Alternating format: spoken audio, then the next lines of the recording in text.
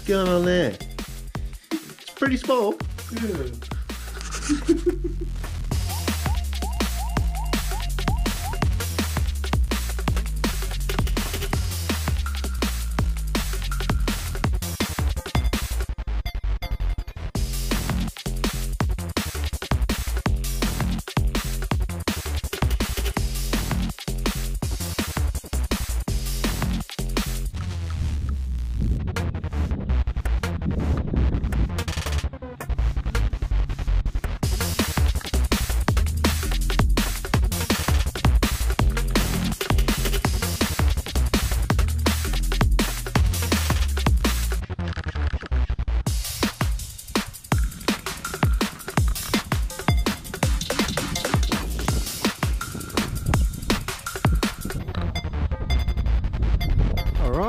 let's see how these go. Now, obviously mine's gonna have a little bit more of an advantage, I think, with the 3S, but Ahmad's um, Hosim has got much better shocks. These shocks are really bouncy. They're supposed to be oil filled, which they kind of are. They've got oil in them, but they don't actually have any pistons inside the shocks. So I normally would have swapped the shocks out, but today we're doing a uh, stock standard test. And yeah, as you can see, the Hosim's much better. This thing's so bouncy. but it'll be a good little comparison, I guess.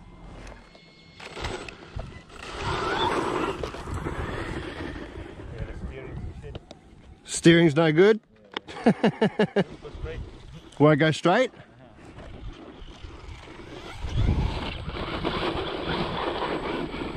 Looks nice and smooth though. Nice, very nice shocks. Good power on 2S. Bad. Just can't it for free.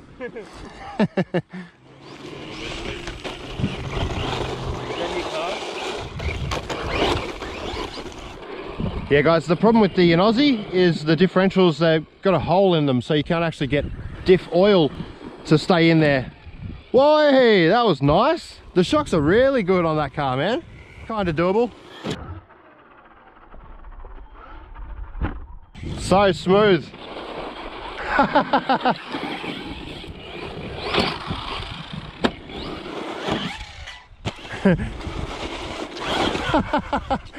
a real hard time.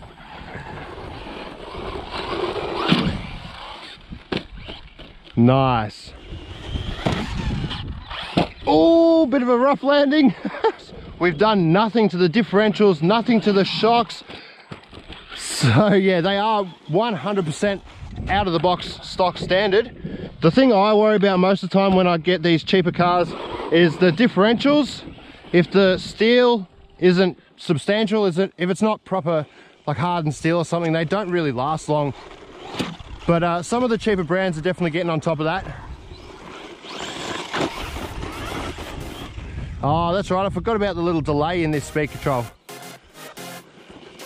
Definitely got a bit more power there though.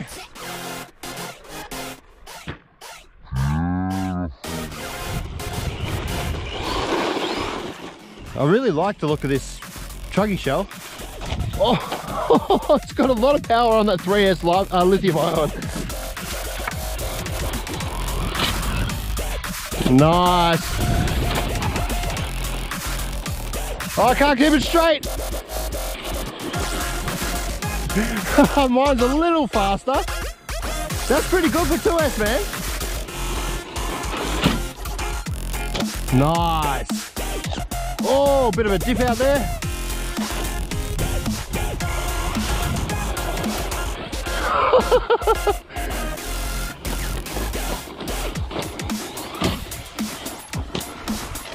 oh.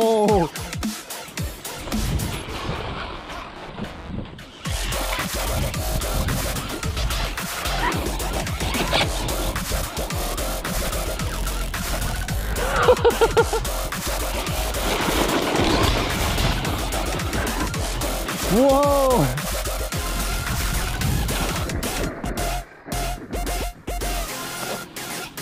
Oh, that was a nasty nose landing, that one.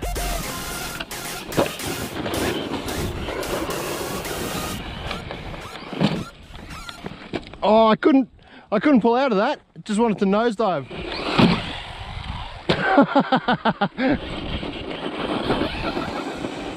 yeah, it looks like yours could use a bit of diff work as well. Yeah. And a 3S battery. And a 3S, you need more power? nice, you'll be able to do front flips. Yeah, I think the battery's done already. Yeah.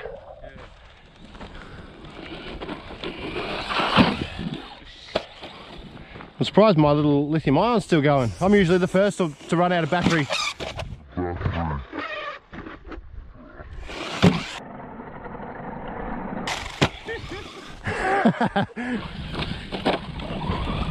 Push it till it breaks.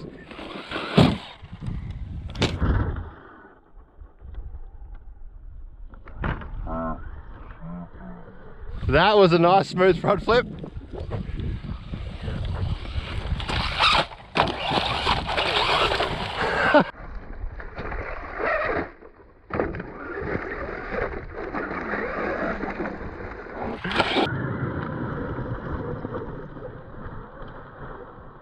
All right, try one more big one.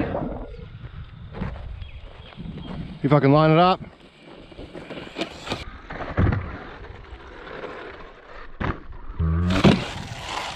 Nice, it wasn't really big, but I lined it up. All right, do you want to have a quick go at that? See what the That difference is. Now you will notice a delay in the throttle. Yeah, a little bit. Yeah. but it's probably a little bit easier to line the jump up, although not having differential oil in the diffs, Yeah. it does yeah still, much better in this. the steering's much better, yeah, yep.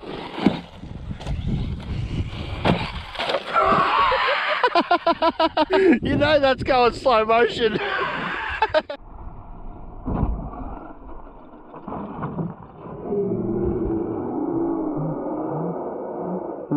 oh no. Oh, and we got no throttle. Oh, was that just a cut, was it? Yeah. All right, there we go. So I'm Ahmad smashed into himself on a low voltage, guys. nah, they're both great little cars. Much uh, stronger, much more capable than I guess both of us kind of realize. Oh, except, yep, there we go, guys.